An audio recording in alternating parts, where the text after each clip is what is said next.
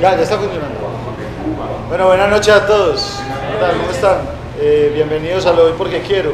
Como siempre, antes de empezar, eh, invitarlos la próxima semana a las dos charlas que tenemos. El día martes 9 viene Dina Paola Higuita, la novia de Esteban Alcázar Stream, y estudiante de doctorado en Ciencias Químicas con las Mujeres Anónimas de la Ciencia. Esa es la charla que tenemos el día martes. Y el día jueves viene de nuevo, pues Lina también viene de nuevo, pero también viene de nuevo eh, una ingeniera geóloga de la Nacional, que es Ángela María Henao, con su compañero de Ingeniería de, eh, de Geología en la Universidad Nacional, que es Juan Guillermo Osorio, y ellos dos nos van a hablar de la Reserva Natural Cañón de Río Claro, Patrimonio Geológico de Antioquia. Eso es lo que hay el día jueves en Lo Doy Porque Quiero. También recordarles que Lo vive de aporte voluntario, pasan dos tarritos, uno es el aporte voluntario y el otro es calcomanías para que ustedes se lleven.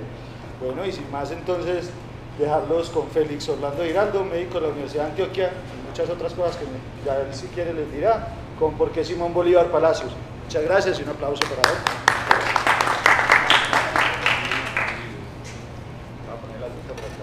Aquí, aquí te la pongo.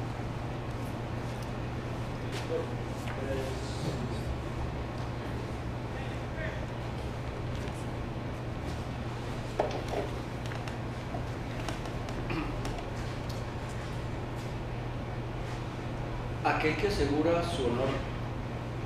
¿Escuchan? Aquel que asegura su honor, dedicando su vida al servicio de la humanidad, a la defensa de la justicia y al exterminio de la tiranía, adquiere una vida de inmortalidad al dejar el marco de materia que el hombre recibe de la naturaleza una muerte gloriosa triunfa sobre el tiempo y prolonga la sublime existencia hasta la más remota posteridad. Simón Bolívar Palacios, 1783-1830. Buenas noches.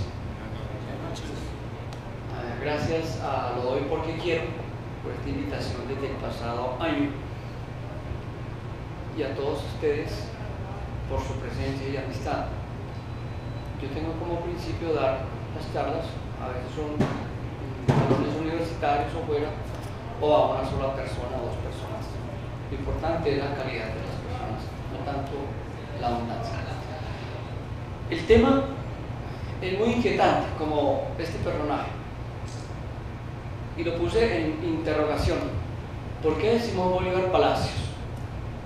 Y una de las respuestas que yo les tengo es porque quizás muchas personas no sabían que Simón era Bolívar Palacios, simplemente porque muchos reivindicamos a la mujer y en este caso pues a su mamá María Concepción Palacios, con este. Hablar de este personaje en una hora aproximadamente o un poquito más, pues es todo un reto, porque eh, Bolívar requiere muchísimo tiempo para tratar de entender lo que hizo por toda la humanidad. Lo que voy a decir, si acaso es una pincelada de esos pinceles delgaditicos sobre este personaje. Él actuó eh, hace 200 años, o sea, hace muy poco. En sentido histórico es muy poco, en sentido biológico tal vez sea un poquito larguito, pero en un sentido histórico es prácticamente un, un nanosegundo tal vez en la historia del universo. En el momento en que él actúa, él tiene unos, unos principios, unas bases muy fuertes y desarrolla con hombres y mujeres muy valientes e inteligentes y de los diferentes sectores sociales una emancipación de la colonia española. Pero además, él hace una revolución en la palabra. Él va a utilizar su palabra explosiva, reposada, pero iluminada, muy elegante, muy, muy fuerte y con una gran capacidad de incidir sobre las personas que lo escuchan. Porque a nosotros nos han enseñado muy mal además que Bolívar fue un militar y que libertó unas repúblicas. Yo no voy a hablar de él, porque yo no soy experto militar, sino voy a dar unas pautas nomás de él como ser humano, de carne y hueso, como somos nosotros, y que actuó en 20 años, solo a 20 años, de 1810 a 1830, fue su periodo político-militar. Para entender un poco a este personaje, que ha estado presente y seguirá presente por muchos siglos en la humanidad, como ninguno otro. Nada menos, Bolívar fue el fundador de Colombia. Por algo él es colombiano. La gente se asustará, ¿cómo es colombiano? Sencillamente él fundó la República de Colombia. Ahora hablaré un poquito sobre eso si hay tiempo. Y él está presente en el arte en general, la pintura, la escultura, la literatura, historia, el cine, la música y hasta en el espacio. En el espacio hay un cuerpo celeste que se llama Bolívar. En la música hay una ópera que se llama Bolívar. En la literatura, lo que ustedes quieran. Uno de los más conocidos escritores, García Márquez, escribió un libro, El general en su laberinto, eh, de Simón Bolívar. Eh, y otros autores que lo han lo han incluido en sus novelas, en sus poesías, en lo que ustedes quieran. Este hombre que está presente todavía no es agotable. Mucha gente piensa que él ya se agotó, pero él es inagotable. Todos los veces salen libros sobre él.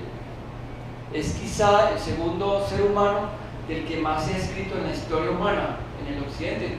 Tal vez Jesucristo dice, pero de Bolívar se han escrito el doctor Polo, que es profesor eh, tiene una colección de más de 300 libros y él conoce los puede dar el dato de que se han escrito más de 10.000 libros sobre este personaje, sobre sus análisis. Algunos personajes escribieron sobre él lo siguiente, tanto contemporáneos como ahora, amigos y enemigos, así como personajes grandes de la historia que han tenido enemigos furibundos como Karl Marx. Karl Marx también se ocupó de Simón Bolívar, se equivocó pero se ocupó de él. Su enemigo principal, su enemigo militar, su contrincante militar, Pablo Morillo, español, decía de Bolívar, nada es comparable a la incansable actividad de este caudillo. Su arrojo y su talento son sus títulos para mantenerse a la cabeza de la revolución. Pero es cierto que tiene de su estirpe española rasgos y cualidades que lo hacen muy superior a cuantos lo rodean. Él es la revolución. Su compañera permanente, Manuelita Sáenz. Si Bolívar hubiera decidido ser cuerdo, jamás hubiera sido glorioso. Su compañero, amigo, entre comillas, que nos lo ponen como el héroe colombiano, Santander, Francisco de Pablo Santander, se expresaba de, esta forma. En otra oportunidad, si quieren, hablamos de este personaje. Santander decía de Bolívar, dentro de sus múltiples conceptos, decía: si, los, si la independencia de estos ricos y vastos territorios le deudora de grandes e importantes servicios, la libertad no le debe ninguno. Bolívar deja a la posteridad una gloria mancillada, un ejemplo execrable y una historia ennegrecida con los colores del despotismo. Un científico que fue además libertario en sus concepciones, el sabio alemán, el naturalista Alejandro von Humboldt. La actividad, talentos y gloria de este grande hombre me hicieron recordar su rato de entusiasmo cuando juntos compartíamos los votos por la emancipación de la América Española, cuyos hechos admiro, cuya amistad fue gloriosa, cuya gloria pertenece al mundo. Otra mujer, uruguaya, Juana de Boro, si a algún ser humano le cabe el título de superhombre, esa es sin discusión, porque Bolívar es la figura más empinada y más antigua que posee la historia de América. Su hijo espiritual, José Martí, el apóstol cubano. En calma no se puede hablar de aquel que no vivió nunca en ella. De Bolívar se puede hablar con una montaña por tribuna o entre relámpagos y rayos, con el manojo de pueblo libres en la mano y la tiranía descabezada a sus pies. Pablo Neruda, el gran cantor bolivariano, comunista. No se puede conocer la América del Sur sin conocer a Bolívar. De todos los protagonistas de la lucha de la independencia americana, ninguno es más discutido, más apasionadamente analizado, pero ninguno es tan brillante, tan eficaz y tan victorioso como él. Simón Bolívar es el gran libertador del García Márquez, que mencionaba ahora, en su libro eh, General en su laberinto, decía, es un libro apasionante. Decía de Bolívar en uno de sus capítulos, Bolívar, que arrebató al dominio español un imperio cinco veces más vasto que las Europas. Había dirigido 20 años de guerras para mantenerlo libre y unido.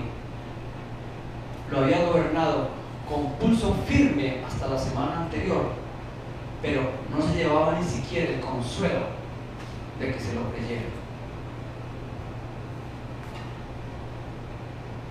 Otro personaje que no lo quería él Rafael Saludo, nariñense. De Bolívar se ha hecho un mito, de modo que el vulgar concepto que se tiene de él no corresponde a la realidad. Un autor que a muchos nos gusta, él está vivo, es tolimense, ganador del premio Rómulo Gallegos, príncipe de Asturias, Casa de las Américas, William Ospino en su libro En busca de Bolívar, inicia con estas palabras. Bastó que muriera para que todos los oídos se convirtieran en veneración, todas las calumnias en plegarias, todos sus hechos en leyenda. Muerto ya no era un hombre, sino un símbolo América Latina se apresuró para convertirlo en mármol.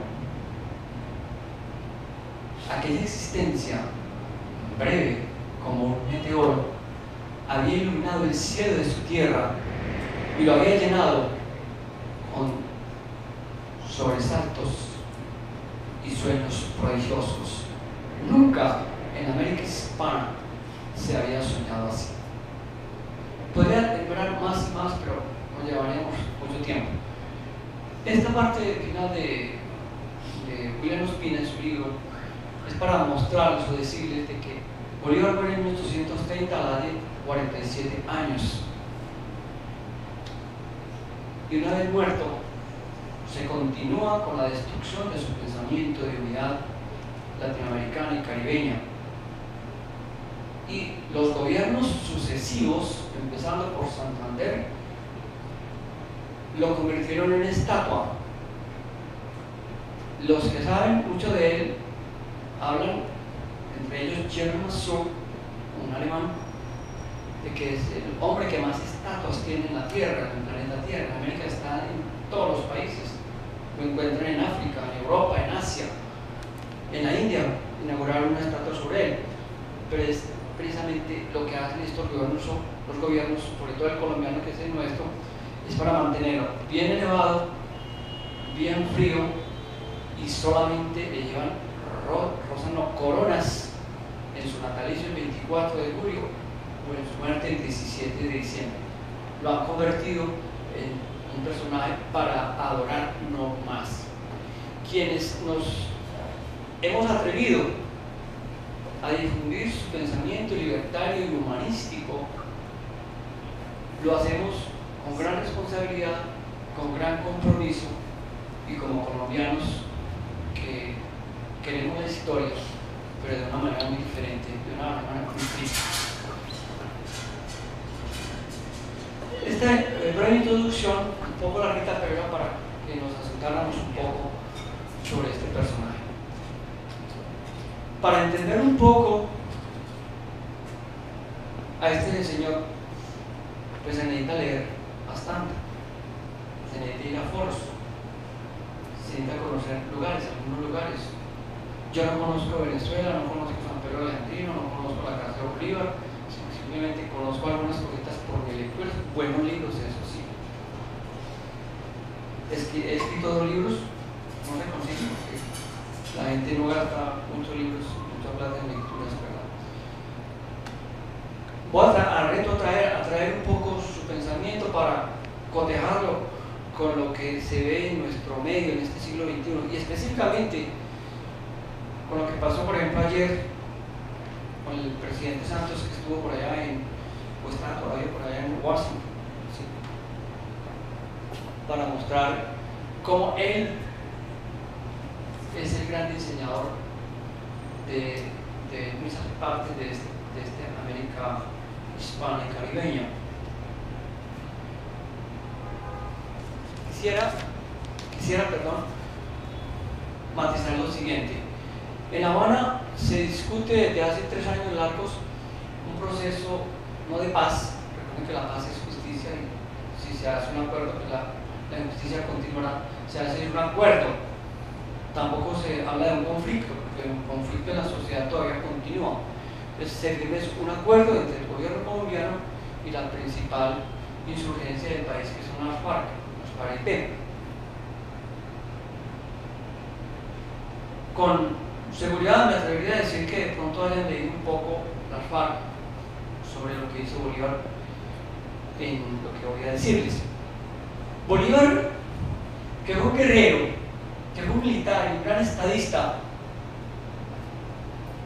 él emprendió la guerra porque la entendió como la forma legítima que tenía el pueblo latinoamericano para vencer a una tiranía, que es un derecho legítimo que tienen los pueblos. Históricamente se sabe que es un derecho legítimo, derecho de los pueblos, rebelarse contra los tiranos. Y él recurrió a la guerra para vencer al imperio más poderoso de ese momento, que era España. Y lo hizo en un escenario gigantesco su terreno de operaciones militares abarcó tierra y mar. No hay porque no había aviones en ese momento. Abarcó más o menos 5 millones de kilómetros cuadrados. Venezuela, Colombia, Ecuador, Perú, Bolivia y el mar Caribe. 5 millones de kilómetros cuadrados que no lo tiene toda la Europa excepto Rusia. Es un terreno gigantesco, su escenario fue gigantesco, pero su escenario mental filosófico y social fue planetario. Por eso él es uno de los llamados universales, como Sócrates, que nos Aristóteles, Einstein, Madame Curie y muchos otros, personajes. Es un personaje, eh, es un hombre de categoría universal. Fernando González, en su libro Mi Simón Bolívar, decía, Bolívar como Sócrates interesa a la humanidad. Interesa porque es un personaje que aportó mucho para el mundo y nosotros que todavía tenemos colonizados nuestras mentes, yo todavía no, pero muchas personas están colonizadas mentalmente, siempre piensan en Estados Unidos y en Europa. Entonces él desarrolló esa guerra durante 20 años, 472 combates, solo perdió 6. Ese palmarés no lo tiene ni Alejandro Magno ni Napoleón Bonaparte, que fueron tan grandes. Comandó durante toda su vida aproximadamente un millón de combatientes, hombres y mujeres. Pero él desarrolló esa guerra y la ganó. Por eso se considera que fue un gran estratega. El estratega es el que gana una guerra. Y pocos en la historia humana han ganado guerras. Pero con la diferencia, con Napoleón Bonaparte, Julio César el Romano, Aníbal el Cartaginés, o los de ahora, los modernos, Bolívar fue el primer ser humano que lideró y ganó la primera guerra de liberación de un pueblo. Fue el primer ser humano, ese es uno de sus palmarés. Porque los otros que mencioné anteriormente fueron grandes militares, pero fueron imperialistas y fueron saqueadores de la riqueza de los países que derramaron la sangre, Europa, Asia. Napoleón fue eso, sin demeritar lo que él hizo en otros aspectos, y con sus ejércitos que eran supremamente numerosos, pero no lo hizo como Bolívar, conquistó, Bolívar liberó. Cuando se desarrolló esa guerra aquí en América, que él, con sus hombres y mujeres analfabetos en su mayoría, hombres y mujeres, indígenas, campesinos, negros, selvas, desiertos, montañas, mares, ríos caudalosos, picos, hambre. Llegó un momento en que él, ya como político, saben que la guerra es la continuación de la política bajo otros medios, según Karl von Clausewitz, el alemán, el prusiano. Él entendió que había, que había que terminar la guerra. Para lograr terminarla entonces, nombró comisionados, tres comisionados, y Pablo Morillo, que era su conteniente militar, nombró otros tres comisionados. Y el 26 de noviembre de 1820, o sea, 10 años después de estar peleando, se firma, se firma en Trujillo el Tratado de Regularización de la Guerra para finalizarla, humanizarla. Eso la gente no lo conoce. La introducción de ese tratado, se la voy a decir, ahora les muestro un libro que traje para que lo ojeen si quieren. La introducción dice, antes de eso, Bolívar era muy astuto, él fue diplomático, fue diplomático y hablaba como gobierno, era una colonia, la Nueva Granada, ella hablaba como república y hablaba de potencia a potencia para que se independizara de esto. Entonces les deseando los gobiernos de España y de Colombia mostrar al mundo el horror de la guerra que ha devastado hasta ahora estos territorios, convirtiéndolos en teatro de sangre y deseando el primer momento de calma que se presenta para regularizar la guerra que existe entre ambos gobiernos, conforme a las leyes de las naciones cultas y a los principios más liberales y filantrópicos han decidido conformar consejeros para que regularicen la guerra. Esa es la introducción y tiene unos articulados muy interesantes como cuáles, de que los primeros de guerra son no solamente son los que combaten, sino los que espías.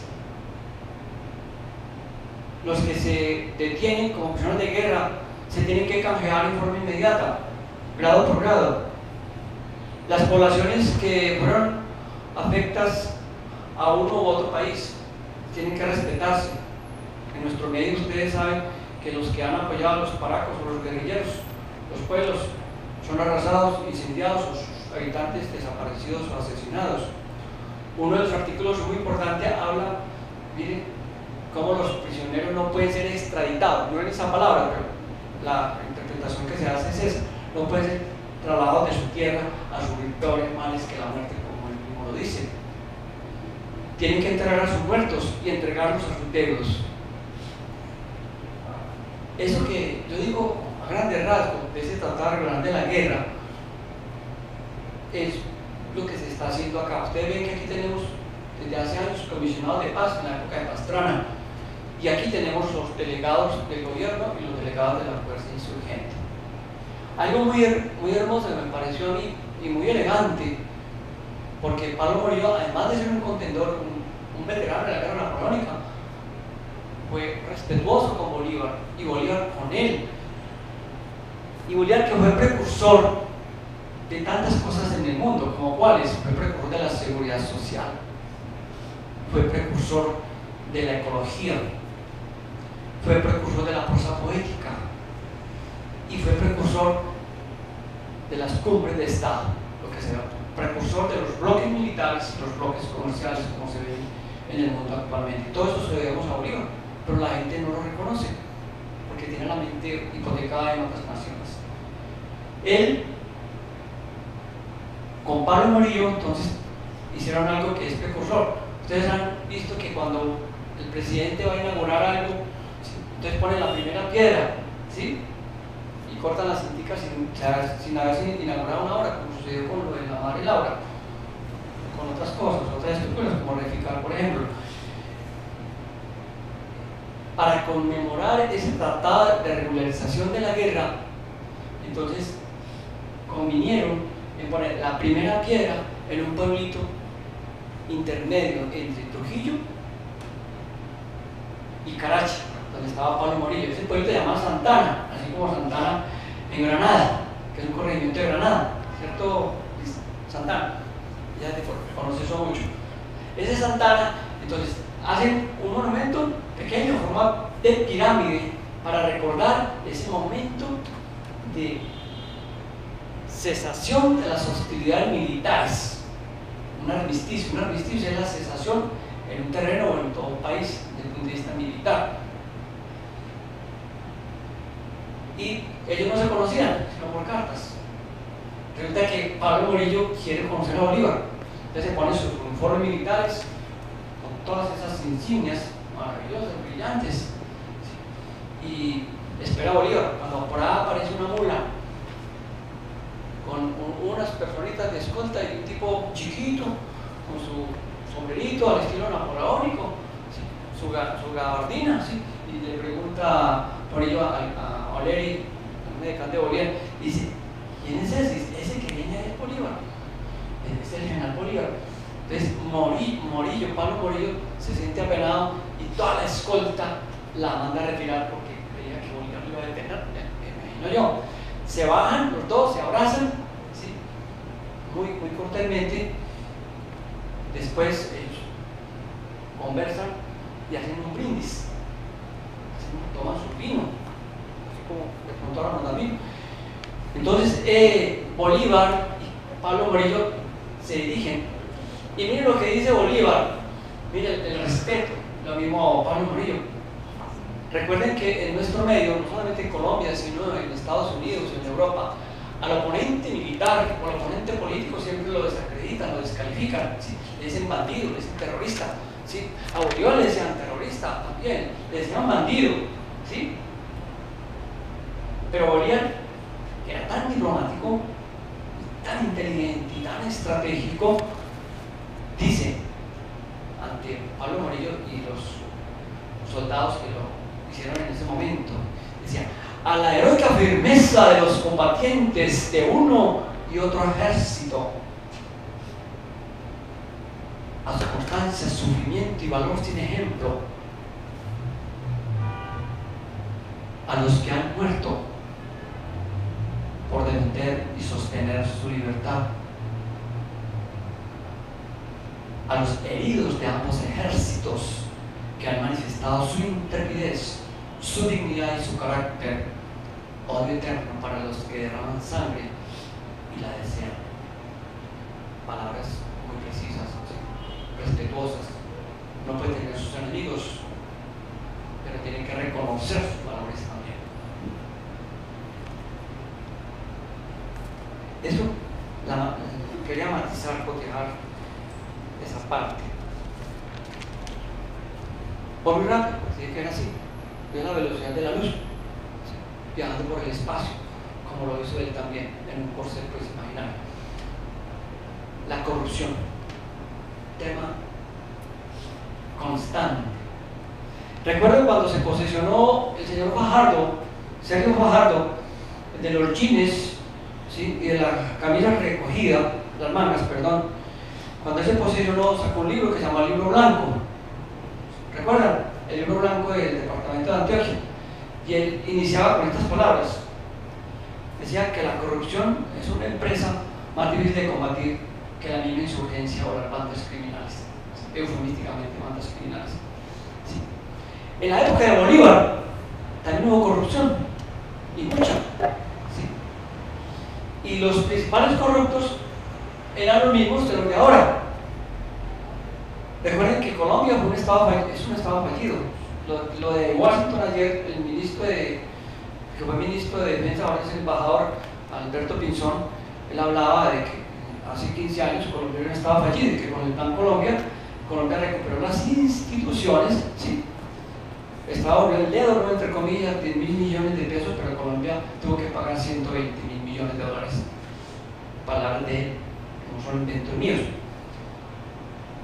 Esa corrupción, entonces la vio Bolívar, que fue un hombre muy honesto, legalmente, muy rico, era el hombre más rico de Venezuela cuando era niño, pero toda su riqueza la gastó en la guerra de emancipación, la donó a sus soldados que quedaban amputados, cuadriplégicos, a las viudas que no tenían cómo sostenerse.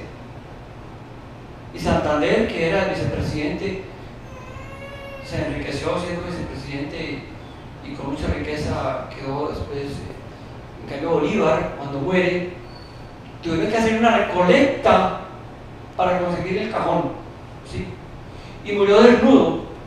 Su, su médico, que no era médico, pero actuaba como tal, Próspero Reverán francés, cuando vio que Bolívar estaba muerto y desnudo, él se enfureció, que ni siquiera el libertador tenía una, camisa para cubrirle su frialdad. Él manda a traer una camisa para que le pongan al libertador. Como Bolívar fue un profeta en muchos aspectos, no en el sentido religioso, sino en el sentido militar y político, se cumplió lo que él decía. Yo quiero morir como nací, desnudo. Decía lo de la corrupción para mostrar qué se hacía en esa época y qué se hace en nuestro medio. son antibolivarianos. Nuestros presidentes, después de la muerte de pero a los que nos ha tocado, cuando hablan y se posicionan como tales,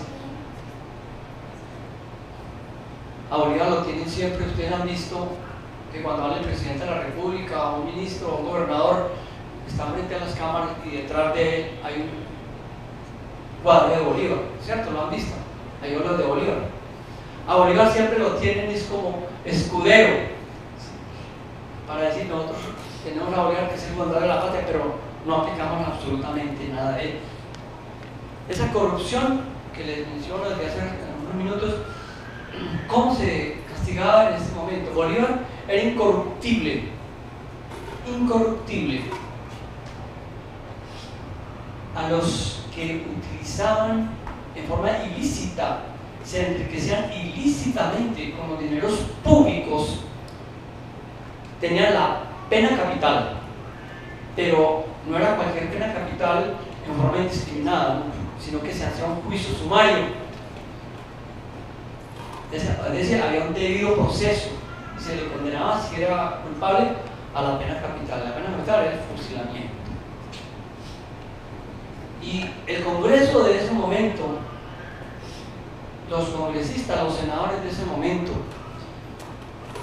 que también eran muy corruptos, le decía a Bolívar a Santander en una carta. Miren lo que decía de ellos que es aplicable a los congresistas nuestros y de otros países. Les decía, no le decía a Santander en una carta. Bolívar le escribió muchas cartas a Santander. Decía, ¿no le parece a usted, mi querido Santander, que esos legisladores más ignorantes que malos y más presuntuosos que ambiciosos nos van a conducir a la tiranía, después a la anarquía y siempre a la ruina. Yo estoy cierto de ello, de suerte que si no son los que completen nuestro exterminio, van a ser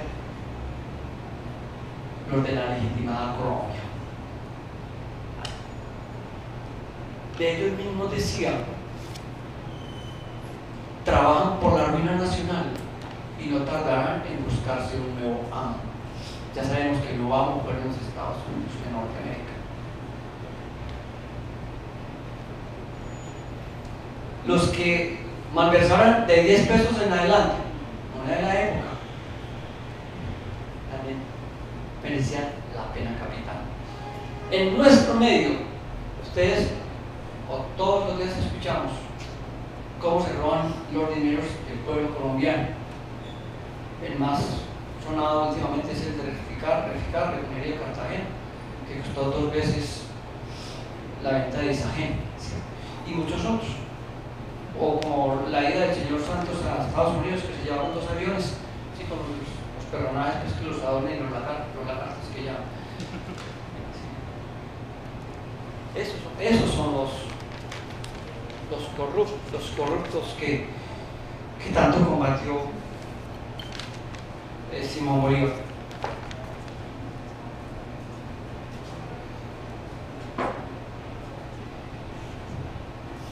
Otro tema muy actual es el ejército. Para que veamos cómo era el ejército de su época, que comandó Bolívar, que formó y que fundó, y el ejército actual.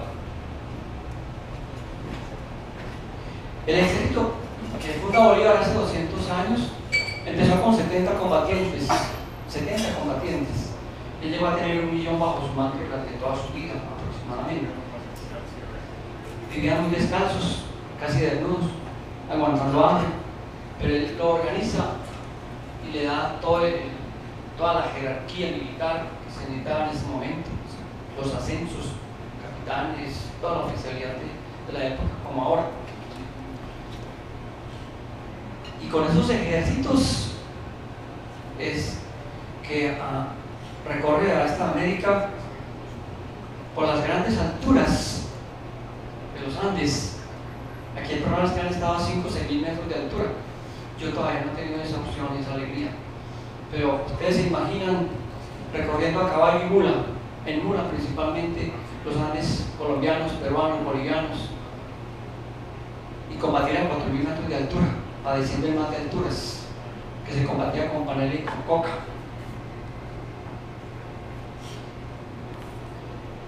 Ese ejército que él formó, que después fue destruido, fue desarticulado por los que siguieron a la muerte de Bolívar. Fue un ejército glorioso, diferente al ejército o a los ejércitos actuales.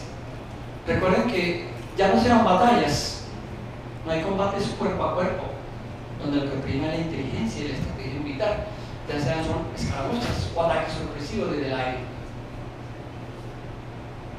El ejército nuestro, que tiene, es de los ejércitos más poderosos de América, es como el segundo o tercero después de Estados Unidos, tiene más de 400.000 efectivos, más de 400.000 efectivos entre eh, Marina, aviación, ejército general. La policía, recuerden que es un cuerpo civil, pero le pusieron funciones de, combatientes para, generar otro tipo de respuestas. El ejército nuestro que comandó o que comandan nuestros presidentes, estos son los comandantes en jefe de los, del ejército, de las fuerzas militares. Durante el gobierno de Uribe, siendo, ministro de Defensa Juan Manuel Santos, entonces se cometieron eufemísticamente llamados falsos positivos. Los falsos positivos son un término que usamos en medicina, pero en, en la parte militar hablan de los falsos positivos. Realmente fueron crímenes de guerra, crímenes de Estado, crímenes de lesa humanidad que fueron diseñados en el gobierno, en las cabezas principales, empezando por el presidente y su ministro de Defensa. Recuerden ustedes que estos falsos positivos se, se llamaban así porque eran personajes, hombres jóvenes generalmente, que eran mostrados como combatientes o auxiliares de la guerrilla, eran vestidos con uniformes nuevecitos, botas sin, sin estar empantanadas, se ponían armas para presentarlos ante el gobierno con el objetivo de ganar dinero, ganar ascenso o ganar licencias. Eso nunca lo hizo Bolívar. Bolívar cometió muchos errores militarmente. El que se va a la guerra tiene que cometer errores. Pero él nunca lo hizo porque él fue muy magnánimo. Él decía lo siguiente para veamos lo que se ve actualmente con nuestro ejército, nuestras fuerzas militares. ¿Qué ejército será digno en adelante de defender nuestros sagrados derechos si el castigo del crimen ha de ser recompensarlo? Y si la gloria ya no pertenece a la fidelidad, al valor y a la obediencia, sin palabras, digo yo, estos señores militares, los comandantes, desde su oficina dirigen la guerra y ustedes lo ven por televisión mostrando sus abdómenes prominentes, sus uniformes muy nuevecitos, mostrando que capturaron a tal persona o un laboratorio que, que encontraron. Ellos no conocen mucho de la guerra ni, ni, de, ni de, política, ni saben hablar siquiera. Bolívar desea al ejército esto. El destino del ejército es guarnecer la frontera. Dios nos proteja de que dirijan sus armas contra los ciudadanos tan falsos positivos. ¿Cómo vamos de tiempo? ¿Todavía tengo tiempo? Es que uno sigue hablando acá y se va emocionando. Que conozcan muchas cosas de este, de este loco. Sí, este es un loco soñador. Bienvenido los locos. Otro tema que quería mostrar acá es eh, la patria. La patria.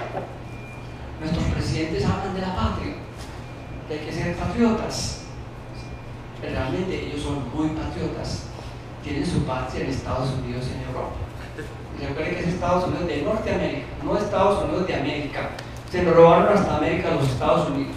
Los que han ido a Estados Unidos, yo tuve la oportunidad de estar hace unos años allá y me decían, quédate en América. Decían, yo soy americano. ¿Cómo que americano? Si yo soy colombiano. No, América es Estados Unidos. Más ignorantes en geografía, en política que los norteamericanos yo me he conocido.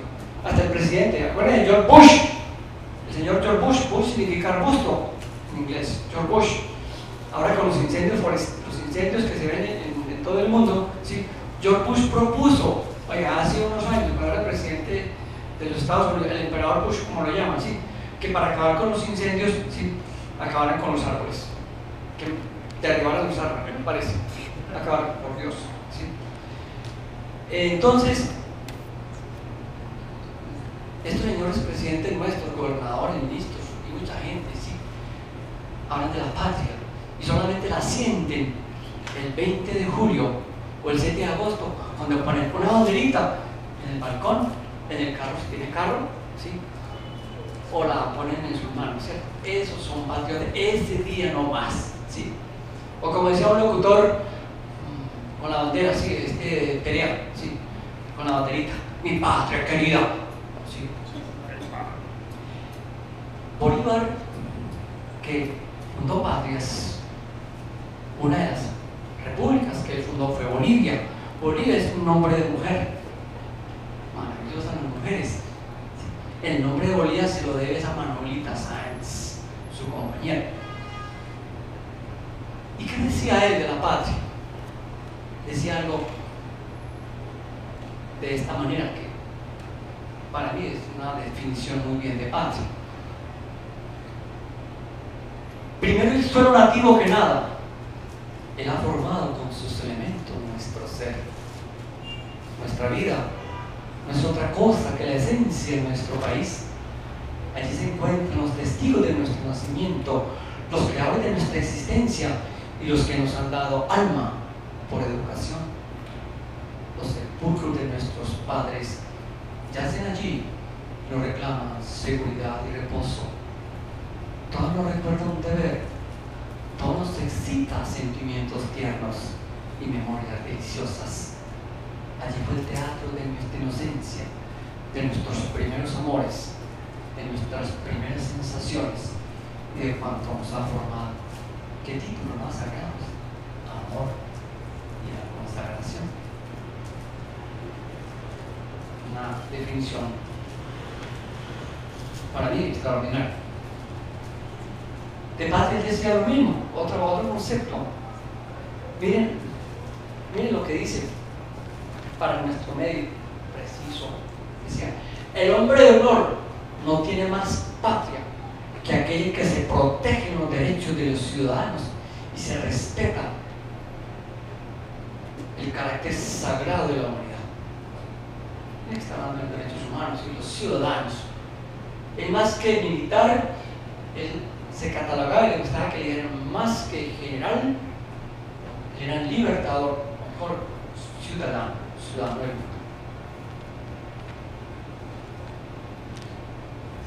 Si no hay un respeto sagrado por la patria, por las leyes, por las autoridades, la sociedad es una confusión, es un abismo, es un conflicto singular de hombre a hombre, de cuerpo a cuerpo. Más claro, o gallo.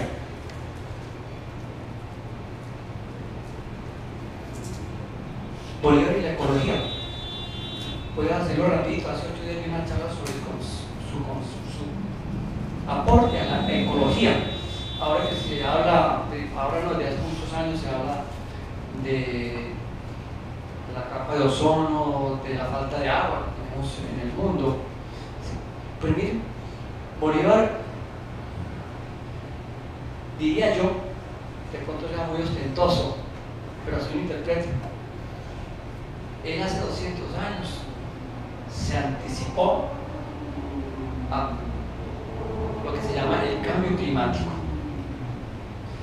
Bolívar que fue un ecologista, en esa época no existía la palabra ecología, recuerden que ecología viene etimológicamente de ecos que significa hogar y logos que significa tratado, o sea, el, el estudio de nuestro hogar, tiene una palabra muy bella además. Él, como ningún ser en la tierra,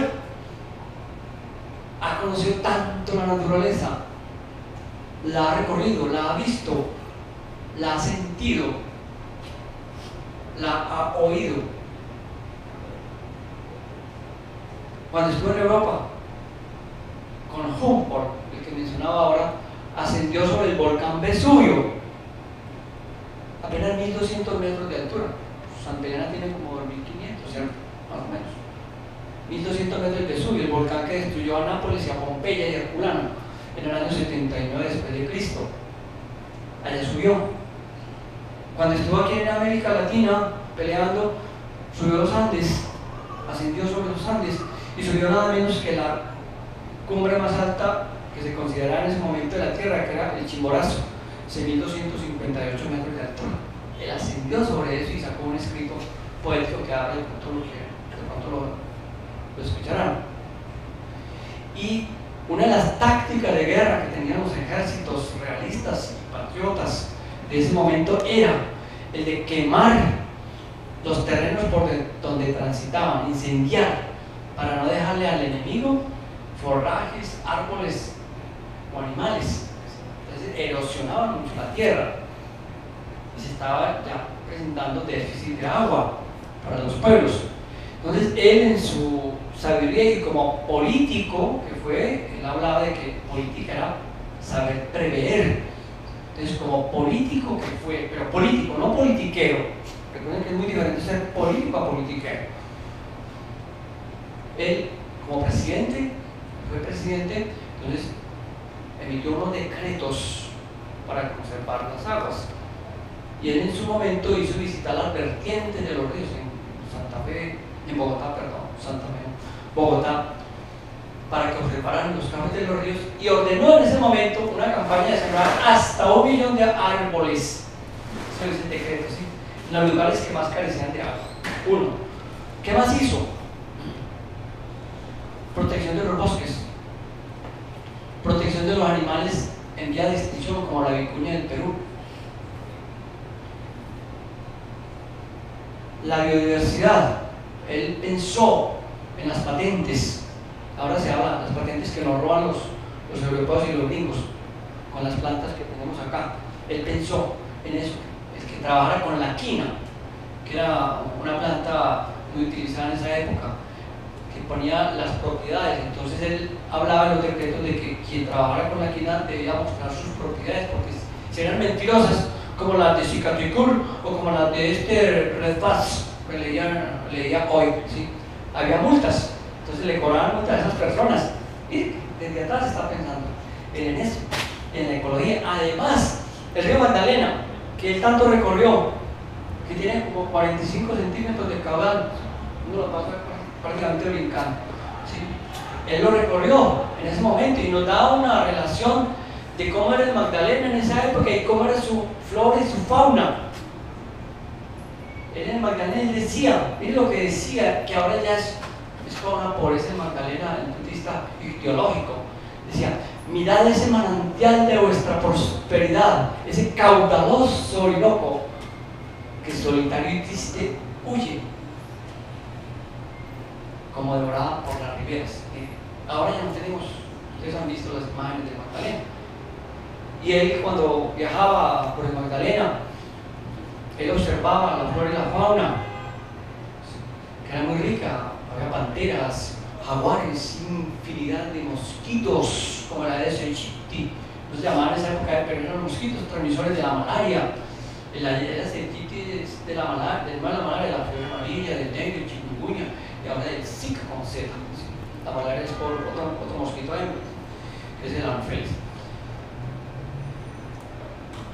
Además, él recorrió el fabuloso, que yo veo por imágenes, río Orinoco, en sus chalupas de la época. ¿sí? Y fue un gran nadador. Esto le enseñó su maestro Simón Rodríguez a nadar, a montar a caballo. Una anécdota corta es de que cuando él estaba organizando la campaña de Boyacá en 1819, venía por el río Orinoco y él quería imponer su autoridad porque a él no le gustaba que lo mandara. Él no quería ser un alcalde como de ahora, quería ser el número uno pero para mostrar a los llaneros toda su fortaleza mental y física.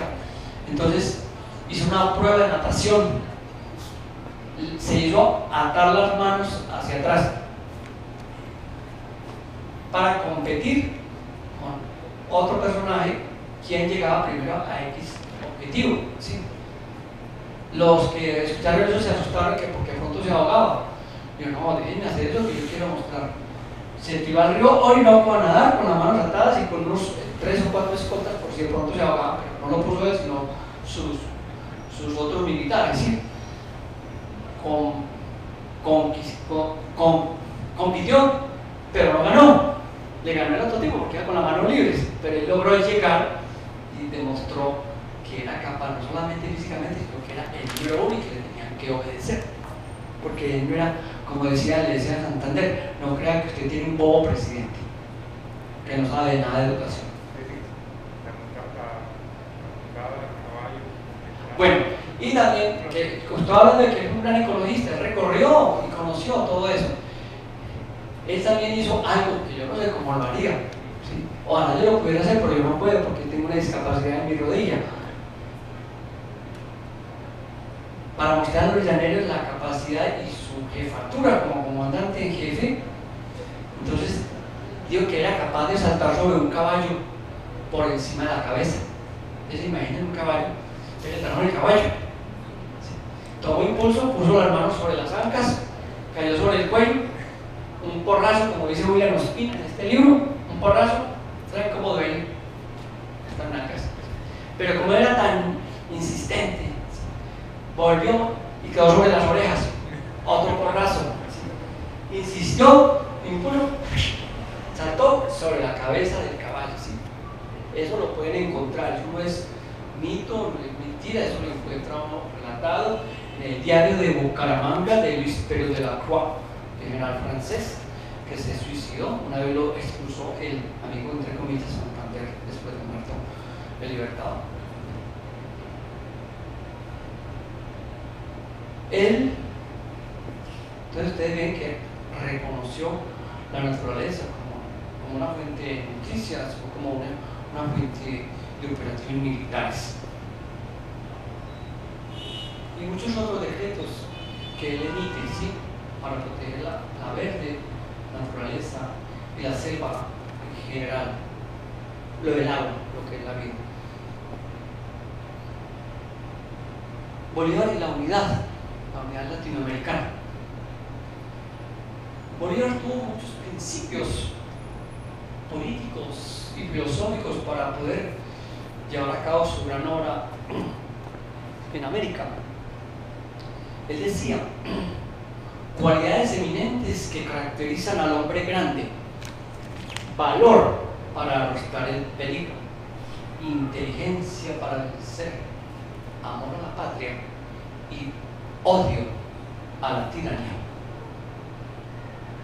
Esos principios él los cumple. Y las miras de él eran miras planetarias.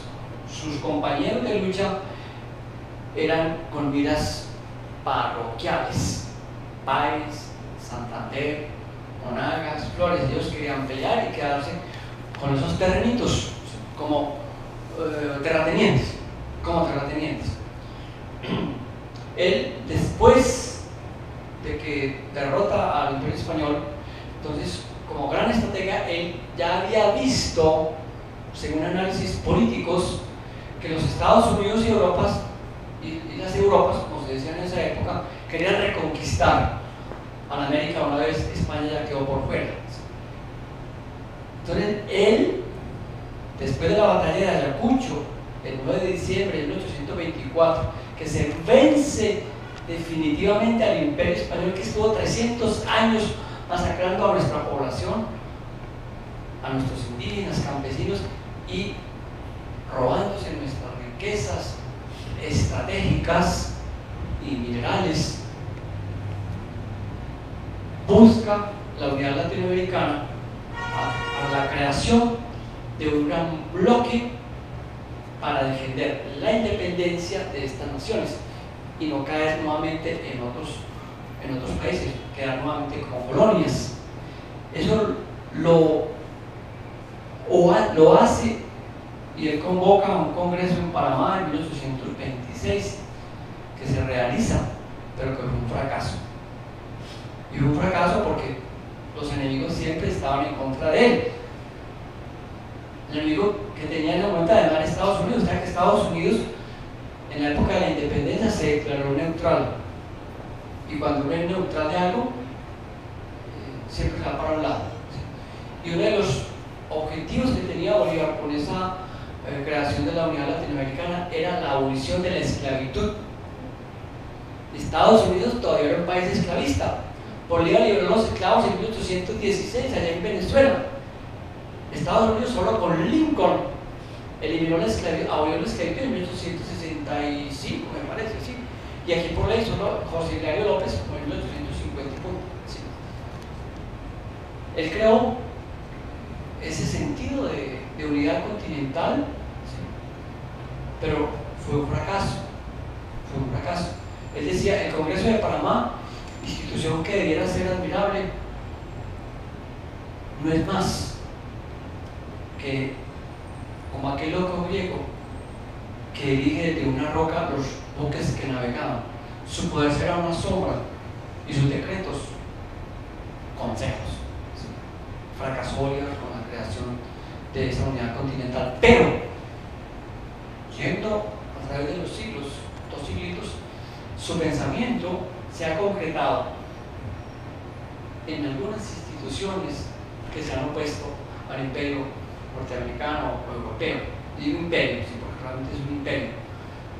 Se ha creado la CELAC, Comunidad de Estados Latinoamericanos y del Caribe, con excepción de Estados Unidos y Canadá, que son anglosajones. ¿sí? La se creó en el 2010, 2011. ¿sí? UNASUR, Unión de Naciones Suramericanas, Mercosur, el ALBA, Alianza Bolivariana para los Pueblos de Nuestra América. Y todas esas instituciones tuvieron su embrión, su germen en el pensamiento de Bolívar de hace 200 años, que fue el creador también del derecho público, sin ser abogado. Se me olvidaba decir que Bolívar también fue doctor. ¿Sabían que fue doctor? ¿Cierto que no? Él fue doctor, recibió el doctorado honoris causa. ¿Sabe qué significa honoris causa? Honoris causa es una locución latina que significa por causa de.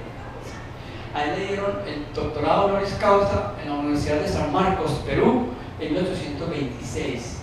Él estuvo presente. Le dieron el doctorado en Derecho Civil Canónico.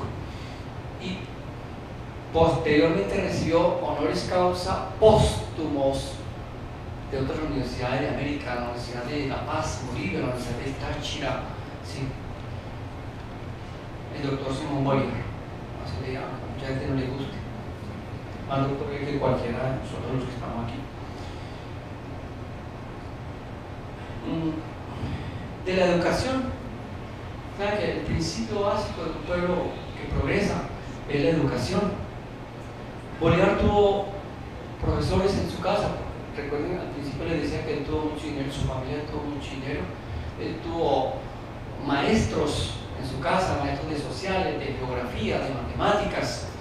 Su maestro principal fue Simón Rodríguez, Andrés Bello, el padre Andújar en matemáticas. Tuvo maestros de lenguas extranjeras, porque él fue un políglota, hablaba cuatro lenguas, cinco, hablaba hasta, escribía en latín, ¿sí? castellano, francés, inglés, italiano. ¿sí? Qué bueno. Castellano, francés, inglés, italiano y latino. Manuelita también era políglota, Uno a duras penas habla, ¿cierto? A duras penas balbucea, un pelado. Sí, imagínense este señor pues hablando que era el primer orador de América en ese siglo XIX. Él decía un principio que, miren lo actual, el, en términos modernos era antineoliberal, el neoliberalismo. Él decía lo siguiente con la educación. La educación debe ser el cuidado primogénito del amor del Congreso. Moral y luces son los poros de una república. Moral y luces son nuestras primeras necesidades. Es el Estado el que establece la educación pública y la dirige. Mire, el principio es el Estado. No en nuestro medio o en Latinoamérica o en el mundo, donde son los conglomerados financieros los que se han apropiado la libertad porque es de la educación o de la salud porque son productivos.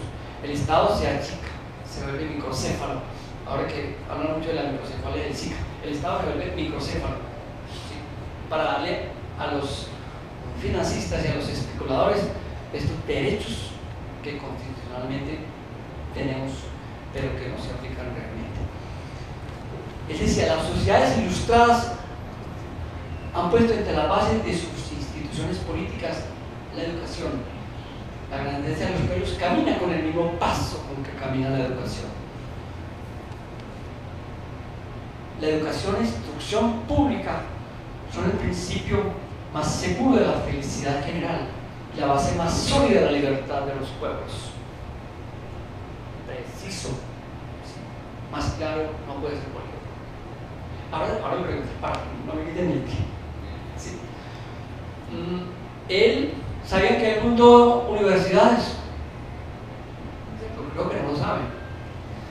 Él que hacía con, las instituciones de la iglesia, siempre el católico, apostólico y romano.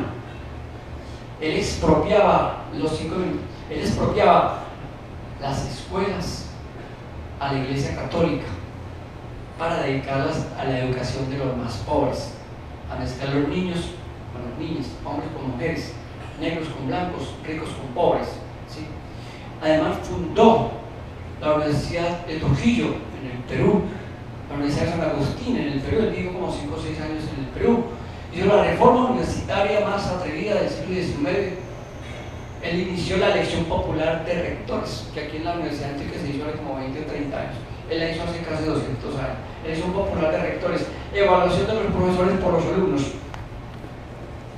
Cosa grandiosa, eso es una educación. Ah, bueno, ya como que se va a acabar eh, el tiempecito. Quería eh, terminar con un pequeño poema de un gran hombre, era de Nicaragua, el negro, Rubén Darío. Él estaba haciendo un poema para, para Bolívar, pero se murió y le quedó inconcluso. Apenas es cortito, no duró un minuto. Se llamaba eh, un, canto, un canto para Bolívar.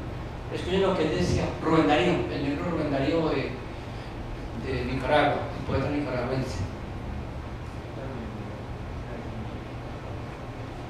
Él decía de lo siguiente en este poema, decía, oh tú, a quien Dios dio todas las alas con la condición de cortarlas, oh tú, protocondo de nuestras montañas, yo te saludo con alegría, en alegría, un fuego y esperanza, pues tu palabra alcanza a un próximo futuro. Tu voz de Dios hirió la pared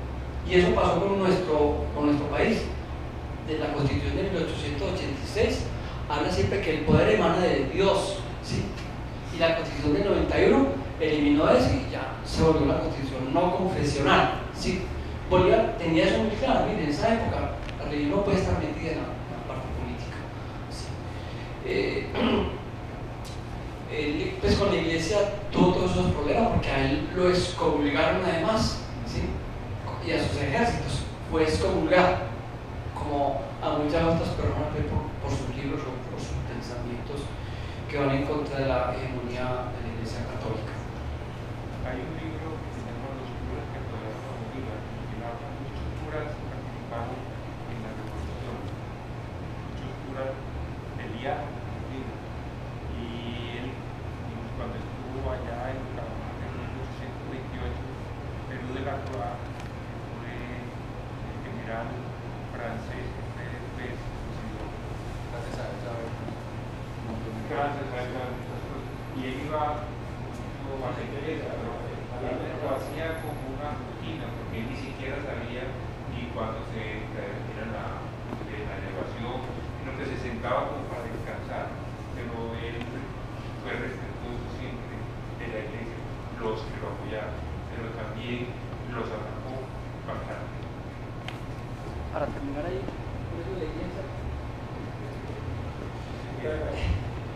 Cuando él estaba en Bucaramanga en 1828, que se estaba reuniendo la Convención de Ocaña, que, que fue un fracaso, sí, se retiraron los bolivarianos por parte del pueblo. Él estuvo en Bucaramanga en mayo, ju- estuvo como dos meses, ¿sí? y Perú de la Tra fue el que recogió para la posteridad todo su pensamiento psicológico. Eh, en ese libro, Diario de Bucaramanga, están los análisis psicológicos de toda la gente que colabora con él. Pero él la prueba menciona que eh, él iba a misa, ¿sí? Y toda la gente se iba para misa para verlo. Porque cuando Bolívar salía de unas manifestaciones que no tiene un presidente nuestro ahora, ¿sí? Salían a los caminos. Entonces iban a misa y él cogía un libro. La gente creía que estaba leyendo la Biblia. No lo estaba.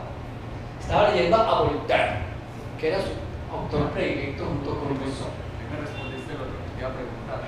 ¿Cuál era la, o- La línea los grandes filosófica. filósofos que él seguía en su época? Eh, Voltaire, sí, eh, yo eh, leí. Él se leyó, él se leyó, mira, como era un político, que vivió- él vivió en Francia varios años, sí, él mismo lo dice en una carta a Santander, cuando un, un Mr. Molada, Molada le dice que era un, un tipo muy mal educado.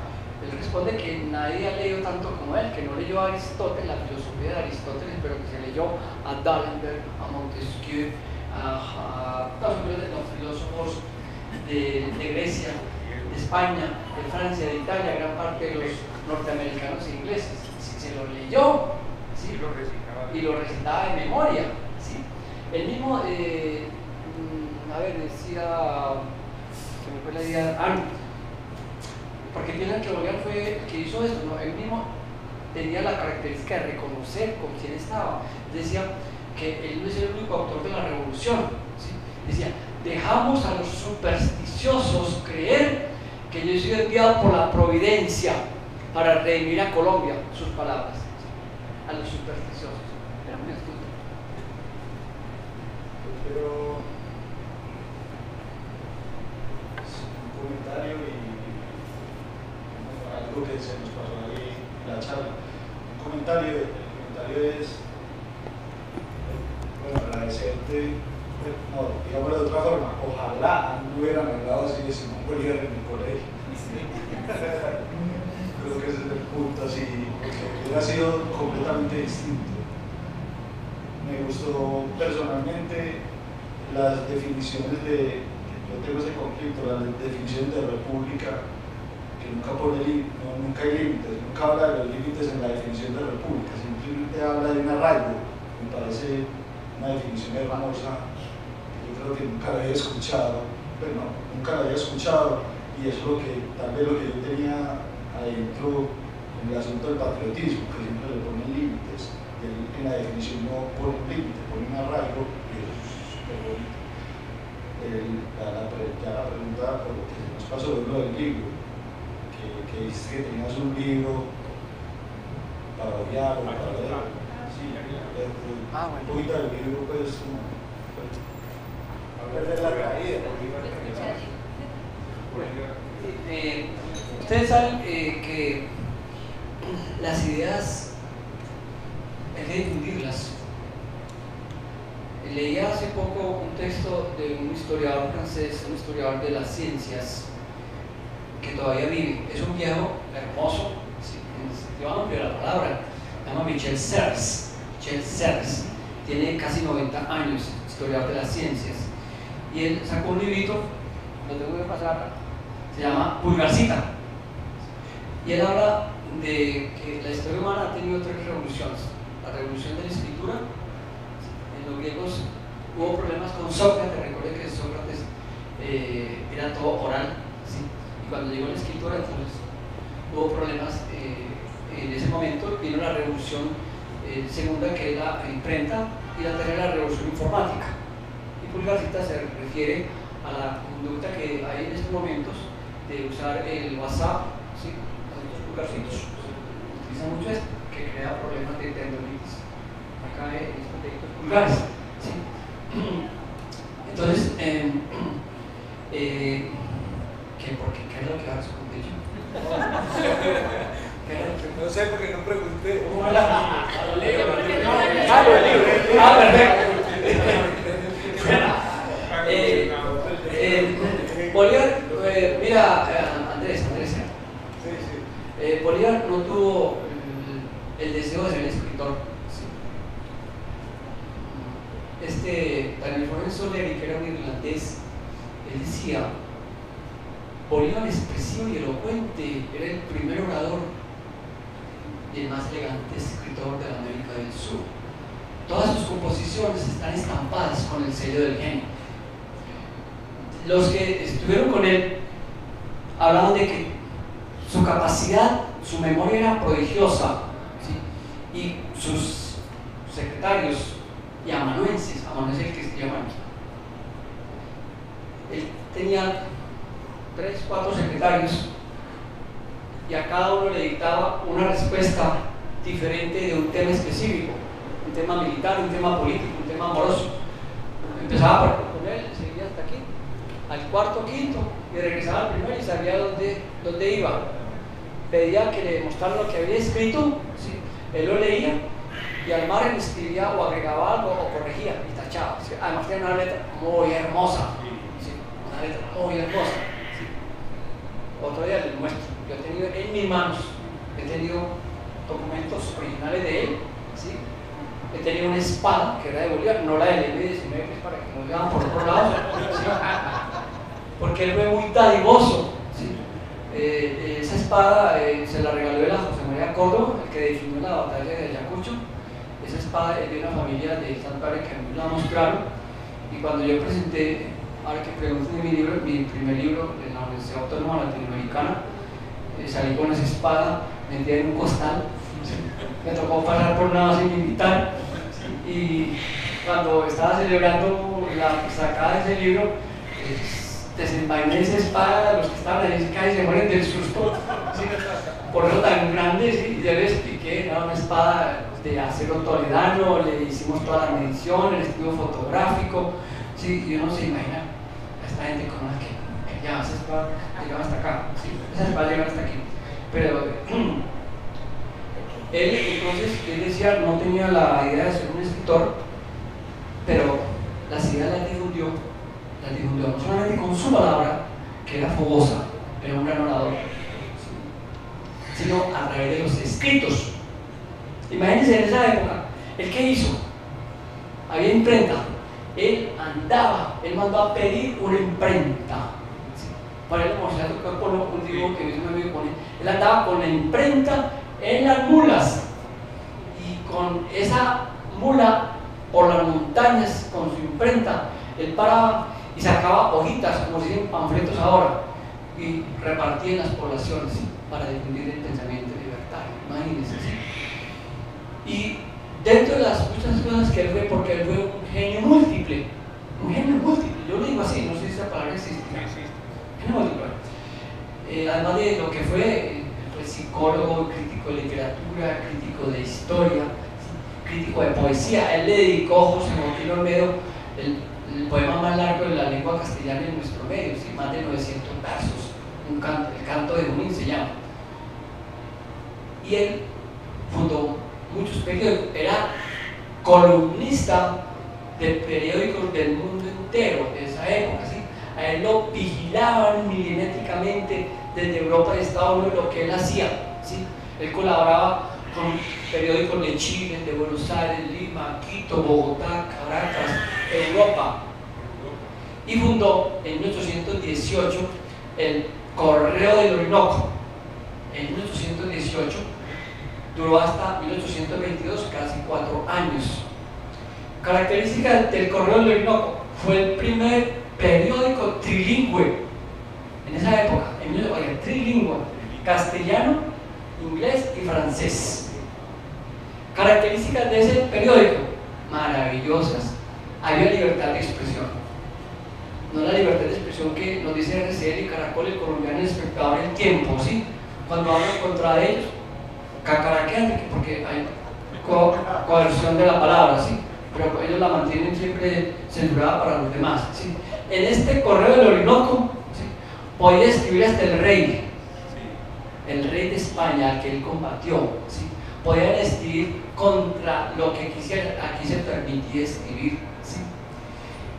Este periódico se hizo inicialmente a tres columnas, primero a dos columnas, luego a tres columnas. Esto se llama, este Maximum, eh, ¿cómo se llama esto? Eh, No, no el, tamaño. Se me olvidó el nombre en este momento. ¿Cómo? Tabloide, exactamente, en tabloide, ¿sí? Entonces, era un periódico que salía semanalmente, los sábados, los sábados, religiosamente los sábados. Aquí está relatada eh, la batalla de Boyacá, el informe de la batalla de Boyacá. El tratado de regularización de la guerra también está aquí. Y había unas propagandas muy, muy hermosas, curiosas, ¿sí? Mm, como de prendería, que prestaba plata. En el semanario del número 90, donde está tratado de regularización de la guerra, estaba leyendo ahora, donde hablan cuáles fueron los nacimientos, los casados ¿sí? y los muertos. Ahí aparecen los nombres, ¿sí? los nombres completos. Me pareció muy, muy hermoso este, este periódico. Este periódico, este libro, perdón, eh, salió hace unos años, es una reproducción, una reproducción del original.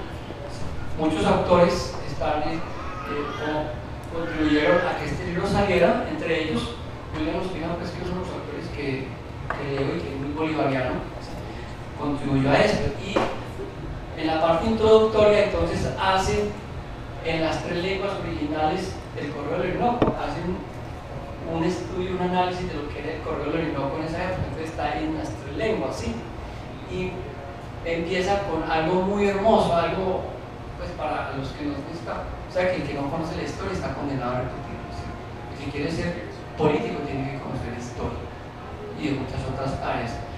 Antonio Nariño, que estuvo casi toda su vida en la cárcel, estaba detenido eh, en Gibraltar, en el peñón de Gibraltar, y allá le llegó este periódico, el número de esa época. Él se emocionó mucho y le responde a Francisco Antonio Sea, que era paisa, ¿sí? narigón, que era de la expedición botánica, le responde la emoción que él siente al saber que se está haciendo algo en América y a través de un periódico. ¿sí? De, Bolívar, de, de, libros, él escribió más de 10.000 cartas, se conservan por ahí 3.000 y punta, las otras se perdieron, las otras las quemaron, ¿sí? son cartas de ustedes lo que quieran, de política, de diplomacia, de guerra, ¿sí? y un género que él fue maestro, fue el género epistolar amoroso, amoroso, él, él tuvo muchas mujeres a su lado. Él fue infiel con las mujeres, pero fue leal con su pensamiento. Y una vez, acuérdense que es diferente ser fiel a ser Una, eh, si quieren, mm, les digo una cartica de amor que le escribió a Manuel. ¿sí? Y ahora me pregunta más sobre esto si quieren. Resulta que Manuel, hay un libro que se llama Las 35 y más mujeres de Bolívar. ¿Se pueden imaginar? 35 y más mujeres de Bolívar. Él tuvo varias Manuelas, pero la que más quiso fue Manuelita Sáenz. Con ella hacía correrías extensas en la finca de Garzal en en el Ecuador cuando se conocieron. Montaban a caballo mucho rato y conversaban mucho, incluso en inglés y francés, porque Manuelita Bolívar le la despistaba a esta, que el que está enamorado quiere despistar a su amada y le recitaba eh, versos o pensamientos de los griegos. Y Manuelita, que no era ninguna boda, le respondía lo mismo. Le respondía y Bolívar quedaba muy asustado de dónde había aprendido esa mujer tan. Los que conocen hablan de que, de que era más inteligente que Bolívar. Ya se puede imaginar cómo era, ¿sí? Bolívar eh, decía eh, de, las mujeres, decía algo muy bello y de la carta que le voy a relatar. Decía las mujeres las combatientes. Recuerden que eh, los gobiernos siempre hablan de los ejércitos y de los generales, que son los ricos, hombres, o sea, los machos, los militares siempre han sido hombres, machos, blancos y ricos. No ha habido negros, indígenas, mujeres. En el ejército libertador hubo de todo eso. Quien se oponía al ingreso de la mujer al ejército era otra vez el nuevo el señor Santander. Era un ser misógino, ¿sí? era misógino. ¿sí? Y combatían, combatían. Hay un dato todo lo estoy conectando con, con Vamos rápido, con Bolívar. ¿sí? vamos rápido que se nos acaba. Bueno, eh, en la batalla, antes de darse la batalla de Boyacá, cuando él cruza los Andes por, por el Pisba, cuando llegan sin, sin caballos, sin, sin munición porque están mojadas y sin ropa los soldados, el alcalde de una población, eh, no recuerdo el nombre en este momento, encierran a la población en la iglesia, le echan candado y, y, los hacen despojar de toda la ropa para dárselo a los soldados. Se acabó la ropa de hombre, ¿sí? entonces quedaron las faldas de las mujeres. ¿sí? Resulta que en la batalla de Boyacá hubo hombres peleando como mujeres con las faldas que les tocó. Entonces él decía, decían las mujeres, las combatientes, decía, hasta el bello sexo, del género humano, nuestras amazonas, han combatido contra los tiranos con un valor divino, aunque sin suceso.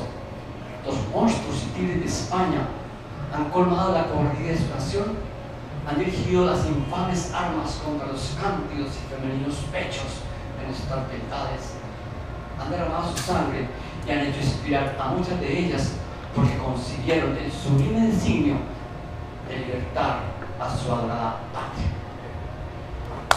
De, de esta carta, esta carta, de de amor, imagínense que el WhatsApp, ayer decían que se, llegó al número de mil millones de WhatsApp, ¿sí?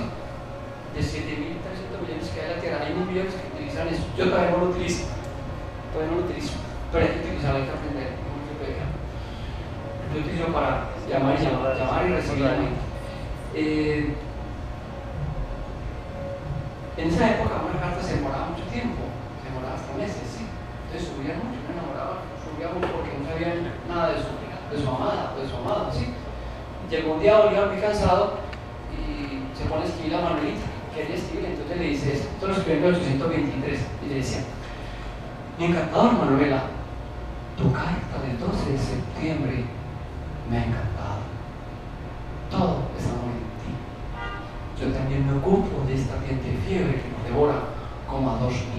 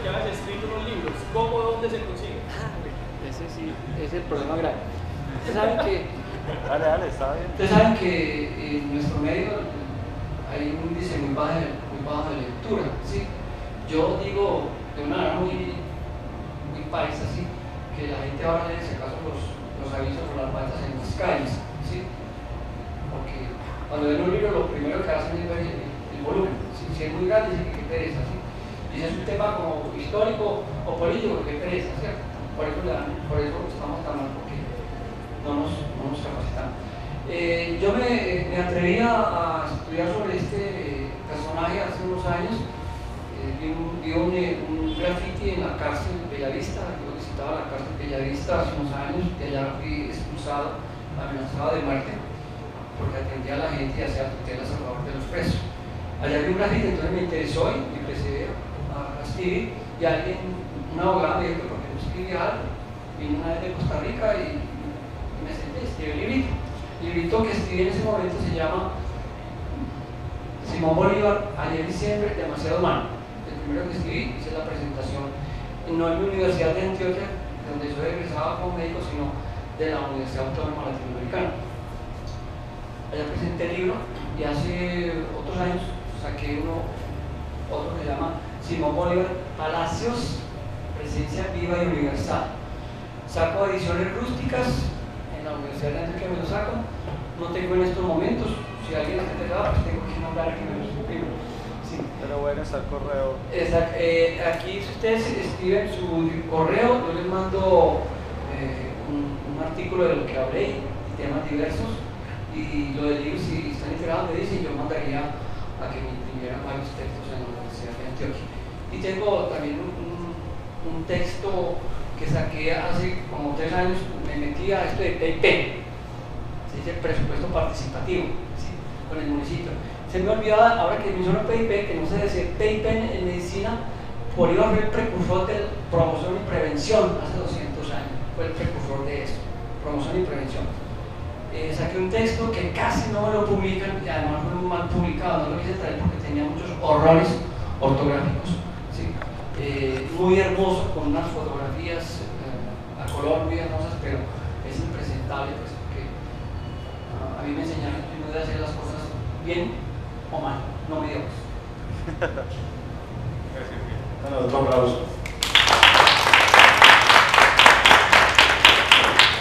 muchas gracias, queda pendiente por aquí está la hojita si quieren anotar el correo. Y para despedir rápidamente, invitarlo la próxima semana, viene la eh, viene la Guita, que es ella puso estudiante, yo quiero decir, pues, ya, ella está terminando el doctorado en ciencias químicas con las mujeres anónimas de la ciencia. Eso va a ser el día martes 9 de febrero y el día jueves viene Ángela María Henao como Guillermo Osorio, que son ingenieros geólogos de la Universidad Nacional con Reserva Natural Cañón de Río Claro, Patrimonio Geológico de Antioquia. Si alguien nos llegó tanto por ahí, muchas gracias y disfruten de la noche.